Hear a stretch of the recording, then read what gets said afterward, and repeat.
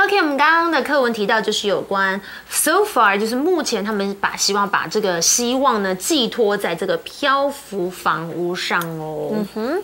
And next, the article says Waterbird's 75 homes house about 1,000 wow. people and stay afloat with the help of large blocks of hollow concrete. So wow. we see here the house is used as a verb here. So house -hmm. is used mm-hmm. as a verb. As a verb, when you house something, it means to provide them a space or you have, or provide them an accommodation.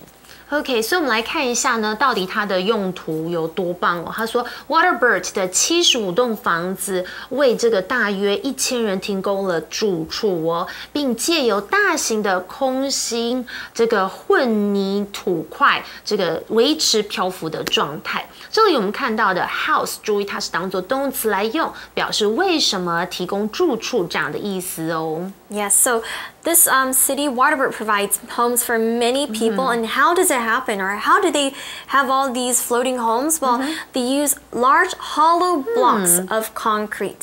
So concrete is a mixture of like rock and water and becomes really hard. -hmm. But when you have a full block of concrete, yeah. it's it's really heavy, you're gonna sink. So what they do is they hollow it out. So when hmm. something is hollow, it means it has a hole in the middle or space inside. So the outside may look solid, but in the middle there is a hole or space there.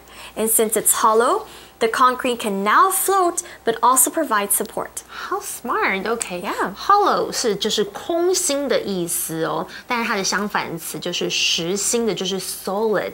因为我每次都会想到，就是像是吃那个 Easter eggs，、啊、有一些呢就是 hollow，那就是像是 chocolate eggshell，它一定就是空心的那种蛋壳，像 Kinder Surprise，、oh, 它里面 they have to like you know put toys inside。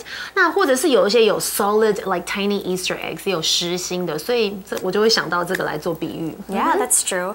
Uh, next, the article then says the project has been a success wow. and has attracted international attention. Hmm, I I I I can see why. 这项计划非常成功哦，而且还吸引了国际的关注。这里我们是用到 international attention. It means worldwide. So the article then says.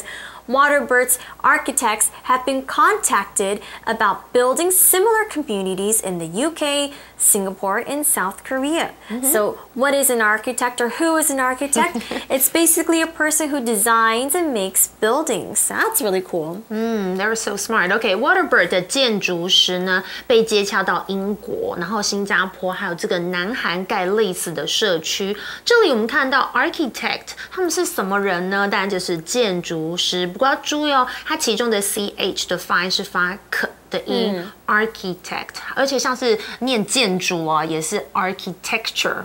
Mm, Again, right. 它也不是 Archie 的发音，不能念错。